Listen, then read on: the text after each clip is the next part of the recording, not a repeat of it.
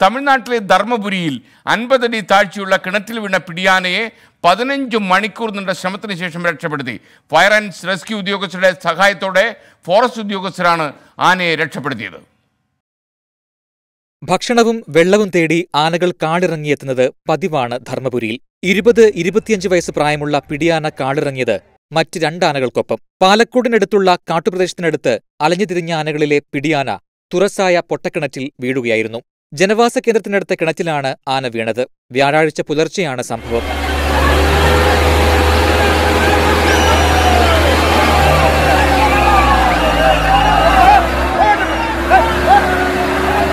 വിവരമറിഞ്ഞതും Palakkode forest ഓഫീസിലെ ഉദ്യോഗസ്ഥർ സ്ഥലത്തെത്തി. സഹായത്തിന് ഫയർ ആൻഡ് റെസ്ക്യൂ ഉദ്യോഗസ്ഥരും. ആദ്യം ബക്കറ്റിനുള്ളിലാക്കി പഴങ്ങളും വെള്ളവും നൽകി ആനയെ ആശ്വസിപ്പിച്ചു.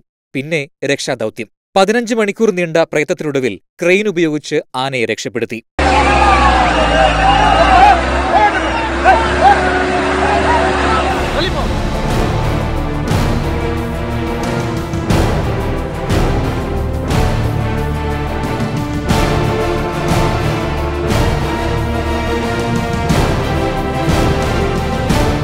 ആഴമുള്ള കിണറ്റിലാണ് വീണതെങ്കിലും നിസ്സാര പരുക്കുകൾ മാത്രം. നിലവിൽ വെറ്ററിനറി ഡോക്ടേഴ്സിന്റെ പരിചരണത്തിലാണ് ആന. ആരോഗ്യം പൂർണമായി വീണ്ടെടുക്കുമ്പോൾ ആനയെ ധർമ്മപുരി കൃഷ്ണഗിരി അതിർത്തിയിലുള്ള കാട്ടിലേക്ക് വിടാനാണ് തീരുമാനം. Research desk twenty